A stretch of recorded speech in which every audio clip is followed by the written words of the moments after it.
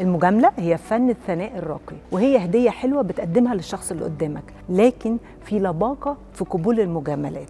ففي أربع نقط لازم تتجنبها وأنت بترد على المجاملة. أول حاجة بدل ما تقلل من المجاملة قول للشخص شكرا وقد إيه أنت انبسطت بالمجاملة دي. يعني مثلا لو حد قال لك إن الطقم اللي أنت لابسه ده جميل ما تقولش إن هو ده قديم ومش على الموضة. بالعكس قول له شكرا لمجاملتك. تاني حاجة بدل ما ترفض المجاملة قول شكرا. وقد إيه هي بتعني لك؟ يعني لو حد مثلا قدر شغلك ما تقولوش أنا بعمل واجبي وده شغلي وخلاص. بالعكس اشكره وعبر له عن انبساطك بالمجاملة.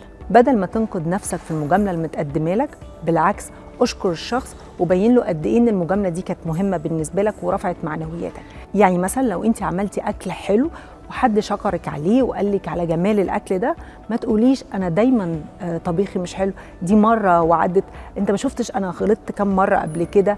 بالعكس اشكريه على ملاحظته وعلى تقديره لأكلك. وما تردش المجاملة بمجاملة. بالعكس لو حد قال لك مظهرك حلو النهارده قول له شكرا. وممكن بعد شوية من الوقت تبدأ تجامله على مظهره.